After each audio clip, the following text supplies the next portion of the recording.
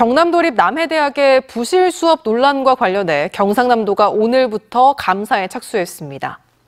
도는 대학 측의 자체 조사 내용을 살펴본 뒤 필요하면 추가 감사에 나서 결과에 따라 적절한 조치를 할 계획이라고 밝혔습니다.